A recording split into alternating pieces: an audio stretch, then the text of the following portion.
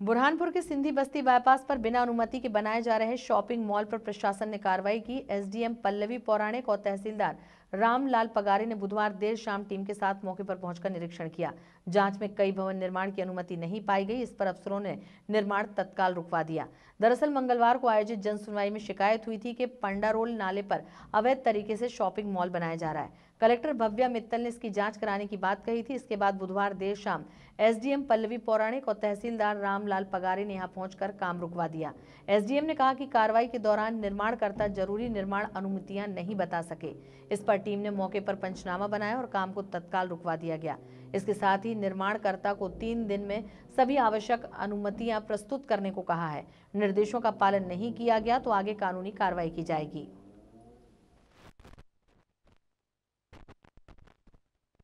जिसकी जाँच के लिए आज हम लोग यहाँ पर आए हैं और प्रथम दृष्टया इनसे भी डॉक्यूमेंट मांगे गए इनके द्वारा भी कोई दस्तावेज़ प्रस्तुत नहीं किए हैं। दिया गया है। एक बार ये सारे दस्तावेज़ दे दें, फिर दस्तावेजों की जाँच के पश्चात आगामी नियमानुसार विधिक कार्रवाई करें। पंचनामा बना रहे हैं। निर्माण पर रोक लगा दी है, क्योंकि पूर्व में भी तहसीलदारों और सीओ के द्वारा निर्माण पर रोक लगाई गई थी, लेकिन आज फिर निर्माण होता हुआ पाया गया है। तो अभी आगामी जब तक कि सारे दस्तावेज़ दिखा न दे और जब तक कि आगे कोई निर्णय न लिया जाए, तब तक इस कार्य को बंद करने के निर्देश दिए गए। का विषय है, यही मैं एक बार सारे दस्तावेज़ देख लूँ, उसके बाद मैं इसी पर जाँच करती हूँ कि आखिर क्या परिस्थितियाँ रही, जो निर्माण का